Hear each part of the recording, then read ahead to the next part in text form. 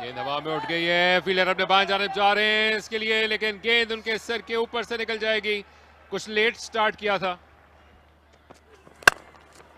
और ये करारा जवाब है दूसरी जानब बाद आलम का।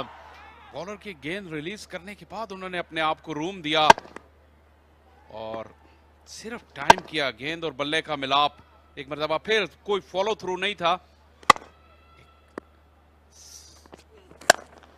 बॉलर के सर के ऊपर से एतबाद कराची के आसमान की बुलंदी से बातें कर रहे हैं। बाउंड्री आफ्टर बाउंड्री क्लास से भरपूर अमाद आलम एक मरतबा फिर फ्रंट लेग को क्लियर किया लेकिन अपनी शेप को नहीं खोया अपने सर की पोजीशन को बहुत स्टिल रखा और ऐसा एक मरतबा फिर शॉर्ट आर्म फ्लिक और अब के नहीं बच पाएँगे।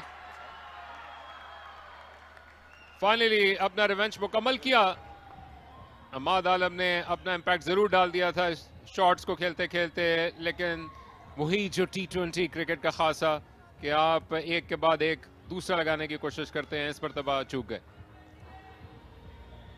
मिलियन डॉलर लग रहे थे Amad Alam against the run of play out हो गए। सॉफ्ट डिसमिसल कहूँगा मैं ऐसे क्योंकि बिल्कुल भी इस शॉट में उस तरह की इंटेंट नहीं थी जो पहले दो तीन शॉट्स में थी। यहाँ पे कोई प्रॉब्लम नहीं है। और गुनैन शाह भी विकेट टेकर है, अच्छी फॉर्म में।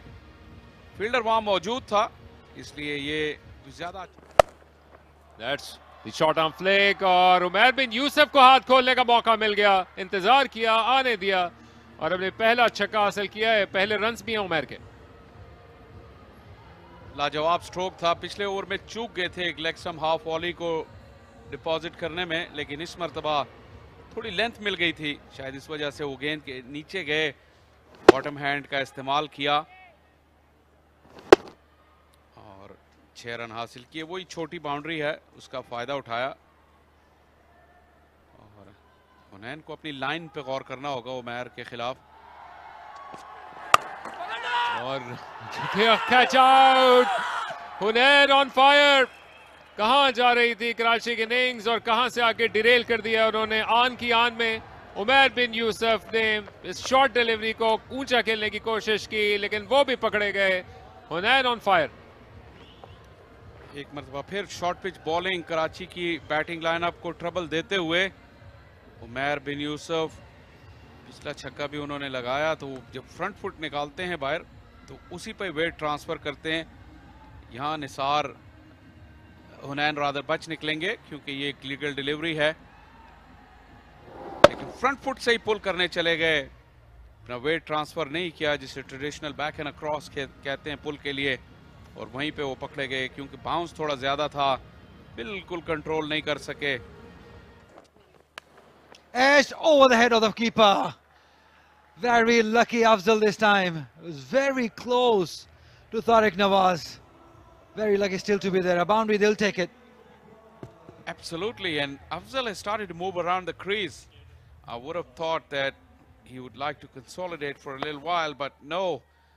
First, he swapped one to the onside, and now making Hunain bowl that short pitch delivery, the top edge. Oh, he's launched at it. There is a fielder. He should be able to take it. He has.